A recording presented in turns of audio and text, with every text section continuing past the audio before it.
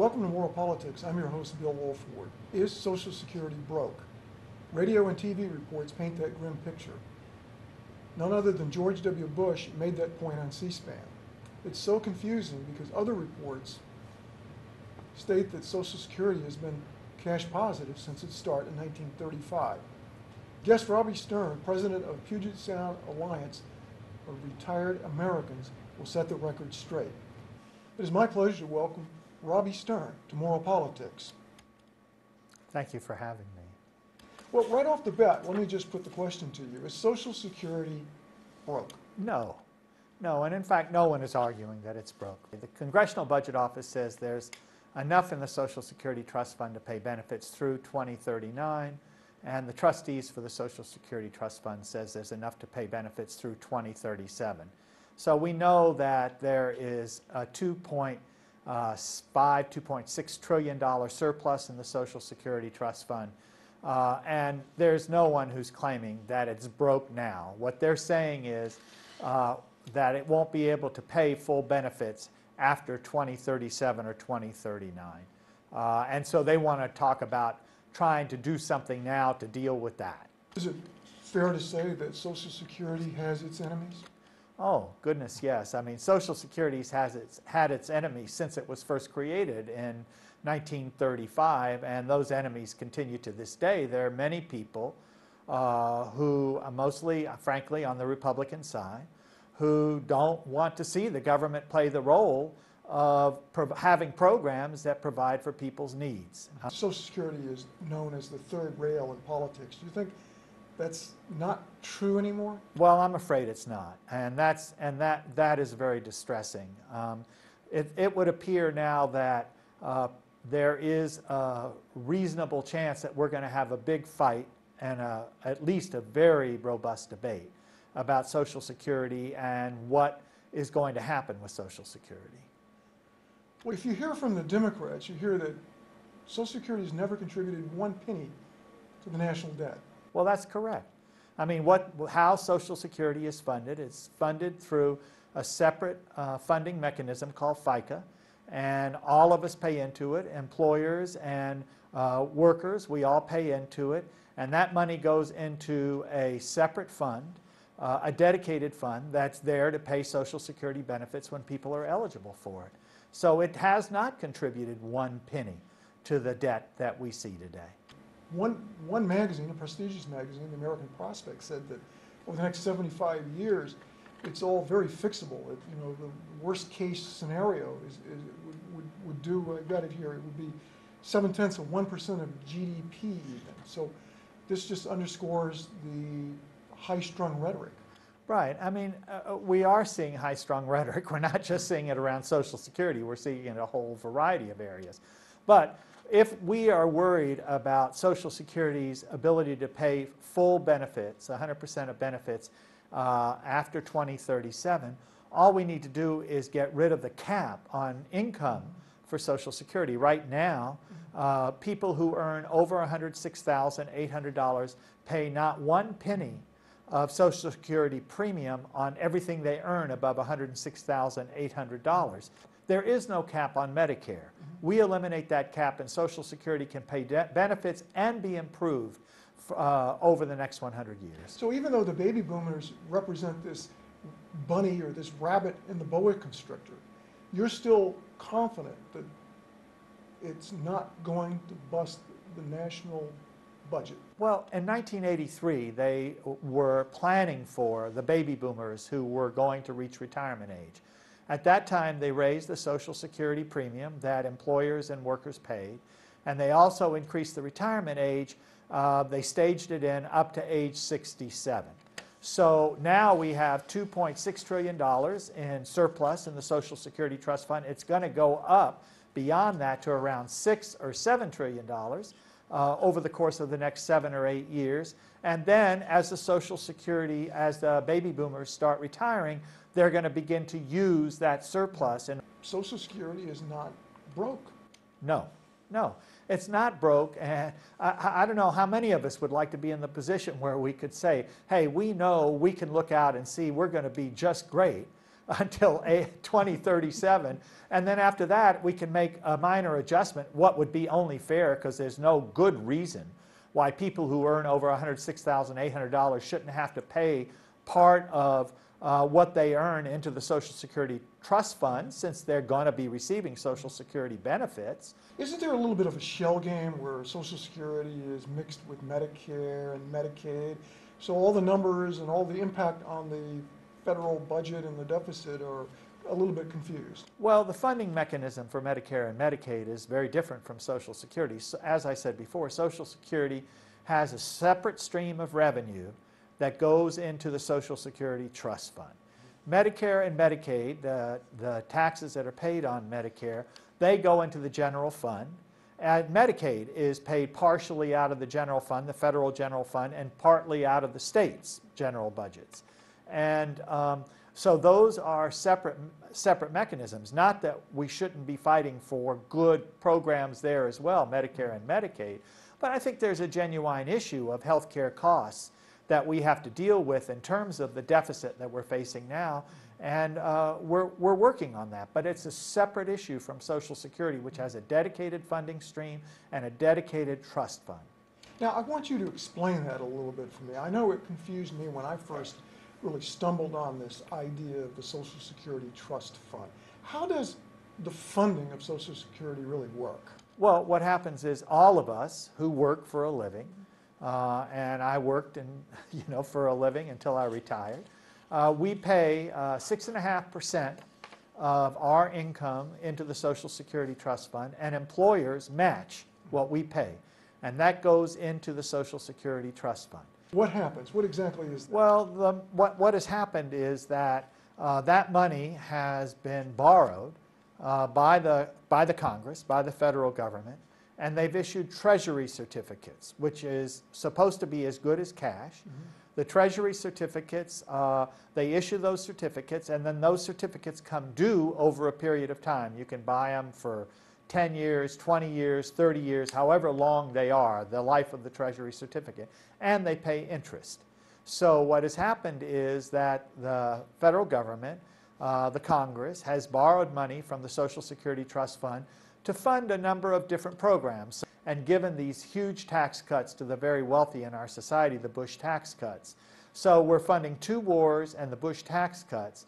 And if they want to deal with the deficit, those are the first two things they need to deal with. The Social Security Trust Fund is like a cookie jar.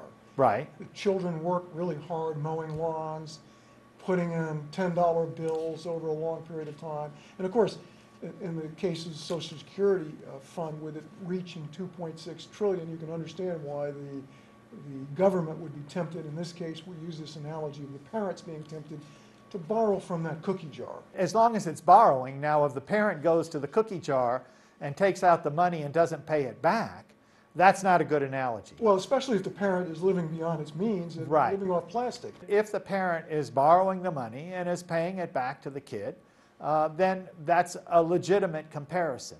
Uh, and if the parent issues particularly paper, that is treasury certificates, that says, I am, by taking this money, making an obligation to pay you back plus this amount of interest, now you've got yourself a really good analogy. Well, now, now we come to the crux of the problem.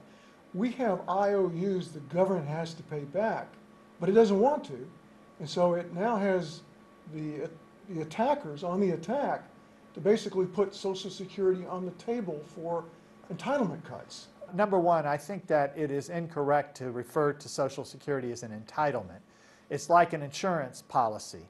When you pay your premiums for your auto insurance or you pay it for your homeowner's insurance, um, you pay those premiums, and then if something happens, there's an obligation to pay the cost or some proportion of the cost of, uh, of the loss that you experience. That's what the Social Security Trust Fund is like. So it's not an entitlement, it's something that people have paid for and are now collecting back. It is true that historic enemies of Social Security are now trying to use the deficit as an excuse to go after the Social Security system and against Social Security payments. Now, they would never say that.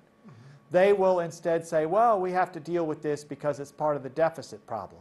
But it's incorrect. That's an incorrect characterization. Social Security has not contributed one penny to the deficit.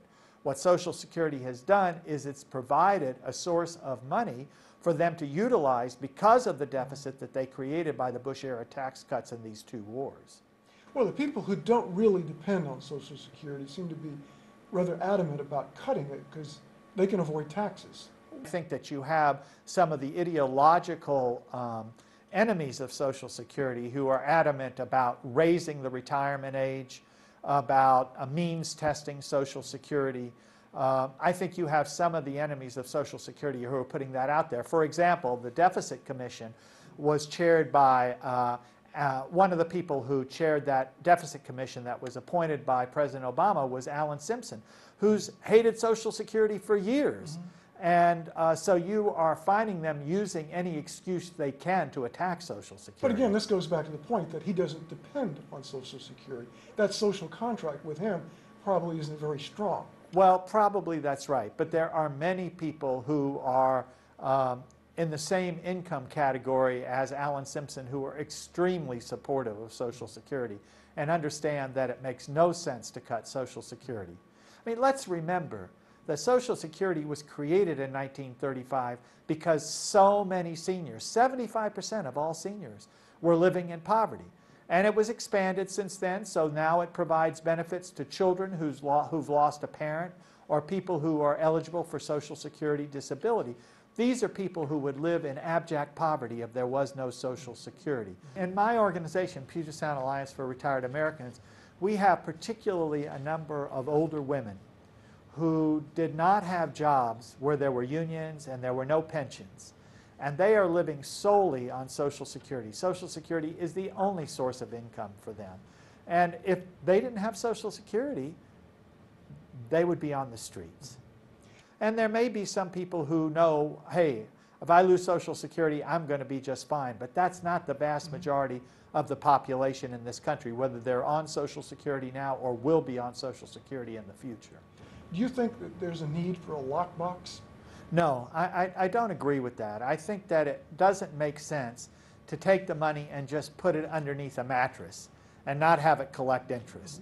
And if you're going to collect interest, then it's going to be out there, it's going to be in the market, and the money is going to be borrowed to do other things. As long as it's not just subsidizing t- tax cuts for Right, the rich. right, absolutely. You know, but that's an issue that we have to take up. It's a separate issue from Social Security.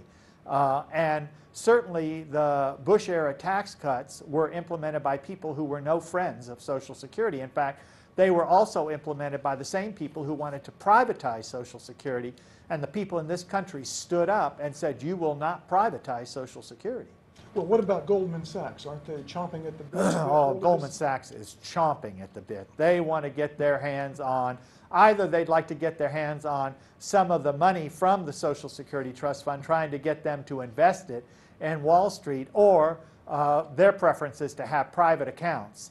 Uh, but I, I think that people in this country are too smart for that. We all know that, number one, uh, defined benefit pensions, pensions where you know you're going to get a certain amount of money as a result of being uh, employed by a particular employer for a period of time, they're going away.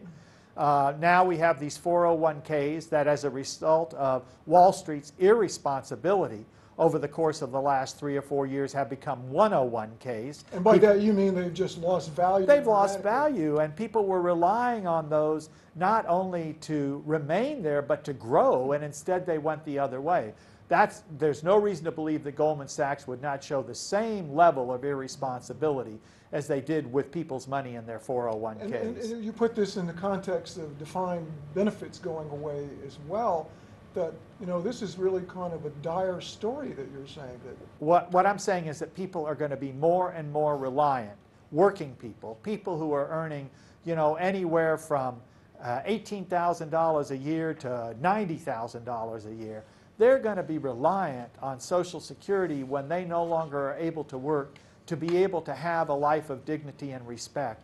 And it's our responsibility, the Puget Sound Alliance for Retired Americans, to make sure that our kids and our grandkids have it there and it's there for them to deal with what we know is inevitable aging is relentless. And uh, we're all going to be facing it, and we're all going to be faced with the fact that we have to have an income to have a retirement of dignity and respect. You are basically bringing up the idea of the social contract. Is there a social contract Well- related to Social Security? Well, I, I think that it's the same kind of social contract that you have with an insurance company that you pay auto insurance to, or an insurance company that you pay for your homeowner's insurance. Yes.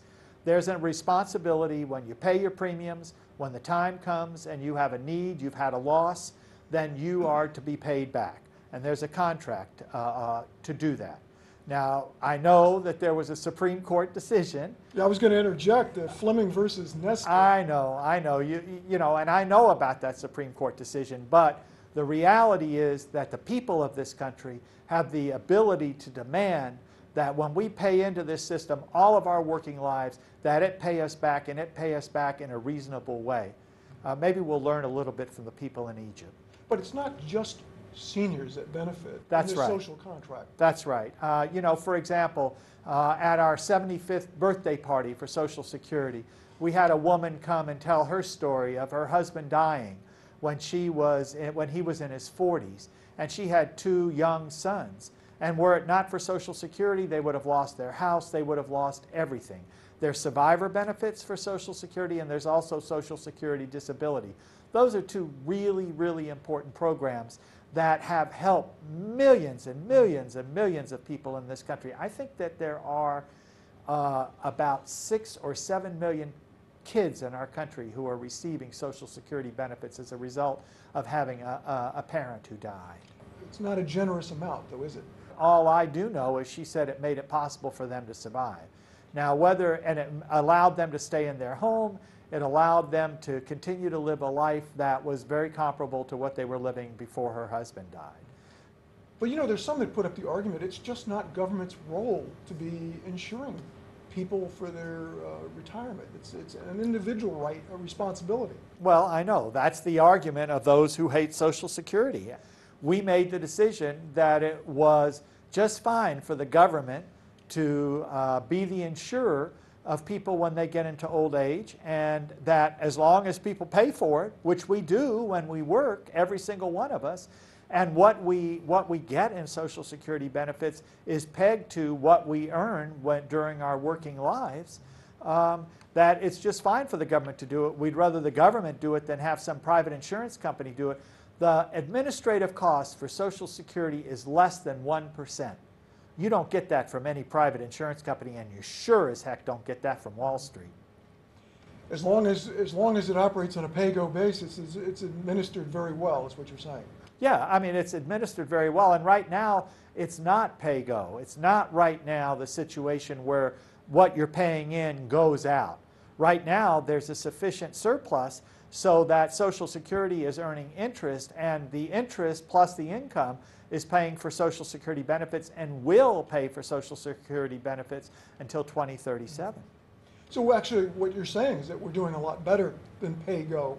Oh, absolutely. And if, if they do nothing, if they don't scrap the cap, if they don't get rid of the $106,800 cap, then by 2037, then we're going to be on a situation where what goes in comes out. And they'll be paying benefits at about 76% of the level that, uh, uh, that would be 100%. But that 76% on the pay-go basis, on what goes in, comes out, would still be almost $1,000 a year more than what Social Security benefits are being paid now on average. Well, I know there was a commission or some study that, uh, I think its recommendations were implemented where the age is going to increase for retirement. So Well, the age is now re- increasing up to age 67. That's that, and it's, it's slowly increasing so that people who are now retiring, they have to be 66 years in some months. I'm not sure what it is. And it will go up to 67. And that was the You're 1983. saying that people that are starting out work today cannot retire before they're 66 and a Uh, half. uh, Well, the people who are starting out at work today are, are going to re- uh, have as their retirement age 67. The people who are in their 55, 56, 57, they're going to be re- able to get full benefits at some point uh, while they're 66, and that's that's going up. That's generally going up until it reaches age 67. We do need to talk about fixes to Social Security. It seems like there's always talk about uh, cutting some program to, to make sure it's on a, a sound footing. Right. What are the fixes to Social Security? Well, we've talked about it already. If you want to assure the life of Social Security for the next 100 years, just eliminate the cap. If you eliminate the $106,800 cap, Social Security will have enough premiums coming in to pay benefits with COLAs, with cost of living increases, for the next 100 years. And we could look at improving Social Security as well. There are some improvements that should be made and could be made. Mm-hmm. Number one, we ought to be paying low income people working what would be considered now the working poor. We could be paying them a higher percentage of the income that they have earned in Social Security benefits.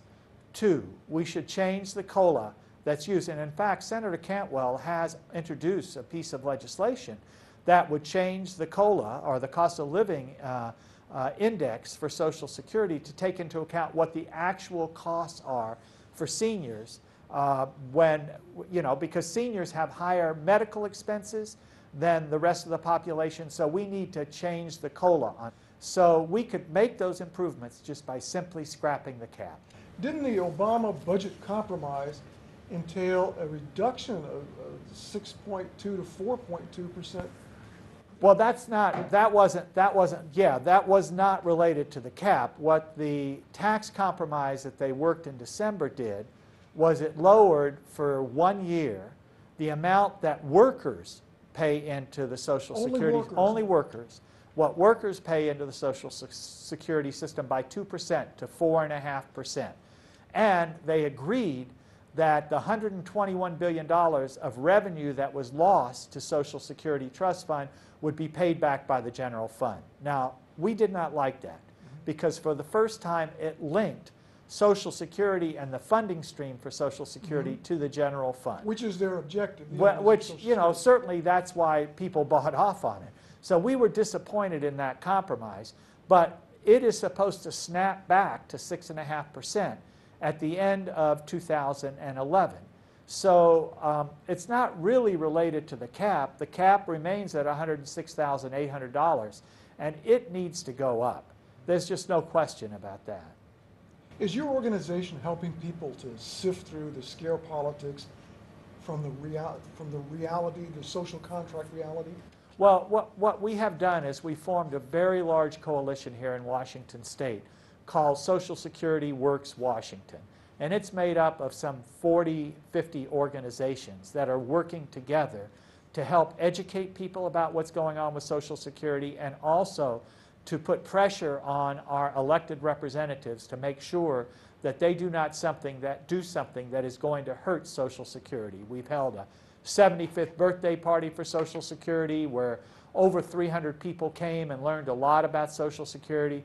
We have an education program that we're putting together that's going to help educate people, but we're not just about education, we're about political action. If they raise their heads again and try to do something to injure Social Security, we're going to do everything we can to bop them on the head and send them back down into the hole that they deserve to be in if they're going to mess around with Social Security. Are we getting help from our senators, Murray? We are. At this point, Senator Murray and Cantwell are being extremely helpful, as is Representative Jim McDermott. They're being very helpful. You only mentioned one representative's name. That means that other representatives are dragging their feet on Uh, Social Security. I would say that that's correct. All of them are the ones that we've spoken with. Uh, at least the, the Democrats that we've spoken with said, now we're opposed to privatization. So they've all kind of staked out their anti-privatization. But on the issue of uh, raising the retirement age, uh, of means testing Social Security, they're a little bit shakier. And we're just going to have to uh, get them a little bit of uh, bolstering on those issues. And we intend to do it. Well, what are the polls showing about Social Security? Oh, Social Security is overwhelmingly popular. I mean, they did polling on it, and I forget what the latest poll said, but it's bipartisan. It's both Republicans and Democrats, and they are all very clear that they do not want cuts to Social Security. You know, when you ask, there was a recent poll that was done that suggested that uh, were people concerned about the deficit. And people expressed great concern about the deficit. But then when they were asked, well, should we do something to cut Social Security benefits to deal with the deficit? The response was overwhelming. 70, 80% said absolutely not. And the reason why is because people have been paying into it and they know they've been paying into that program and they intend to be able to reap the benefits that they paid for. If there is an effort to try and uh, you know, get rid of their obligation to pay those Treasury certificates, we got to fight. We got to fight really hard to make sure that they don't get away with it. Or- We are engaged in a very serious fight to make sure that retirement age is not increased, people cannot work longer, and besides that, making people work longer means that young people will have less opportunity to enter the job market. We got to fight hard to make sure they don't do that. We got to fight hard to make sure they don't reduce benefits. And we have to fight hard to make sure that they make the kind of improvements that these times call for. This option for loophole closure as well. I do know that there are some corporations that are paying somewhere an actual tax rate of around 1.1%, 2.2%, while there are others that are paying the 35% tax rate. So we need to change the system to make sure that everyone is paying their fair share and they can't take advantage of some tax loopholes. So keep Social Security off the table and put tax loopholes. uh, And the high income tax uh, the high income tax cuts, we ought to get rid of them. We ought to get rid of these tax loopholes, and we ought to do something about what we're spending on the wars in Afghanistan and Iraq. What about that argument that people are living longer? It was never anticipated actuarially. Well, that's that's incorrect. The only ones who are living longer are, frankly, uh, fairly well-to-do white men. Uh, fairly well-to-do white women are at about the same uh, life expectancy as they were 10 years ago, or even 15, 20 years ago. And for people of color, actually the, uh, the uh, life expectancy has declined. So it really is income-based in terms of life expectancy.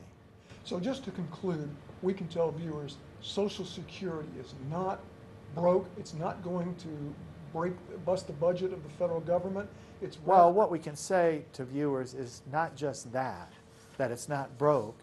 We have to say to viewers, you got to be prepared to get engaged.